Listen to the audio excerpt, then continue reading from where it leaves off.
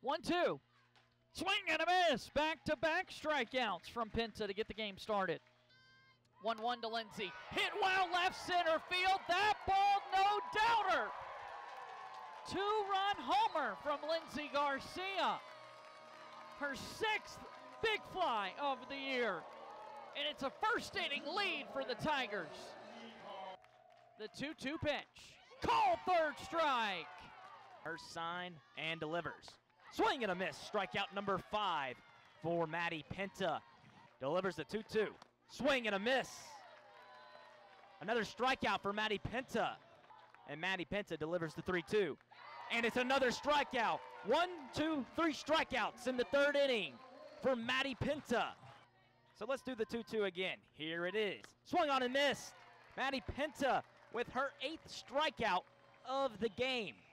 Maddie Penta, the pitcher. The 0 2. Swung on and missed. Strikeout number 10 on the day. Speed, and next thing you know, she pulls the string. How about a swing and a miss, strike three right there? How does 11 strikeouts sound for the junior right hander? Pitch.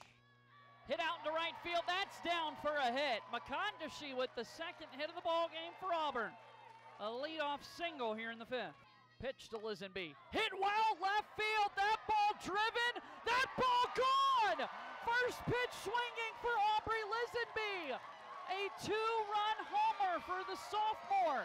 It's her first home run of the season, and Auburn doubles their lead. On the way, here's a payoff pitch. Back up the middle, base hit. Payoff pitch. Call third strike. Here comes the payoff pitch. Call third strike. Laird goes down looking. Two strikes. The pitch to Honold. Swing and a miss, strike three. Another strikeout for Penta. 14 today.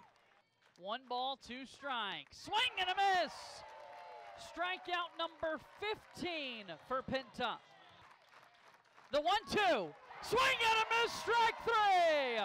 Maddie Penta ties her career high with 17 strikeouts in Auburn's 4 0 win over Missouri.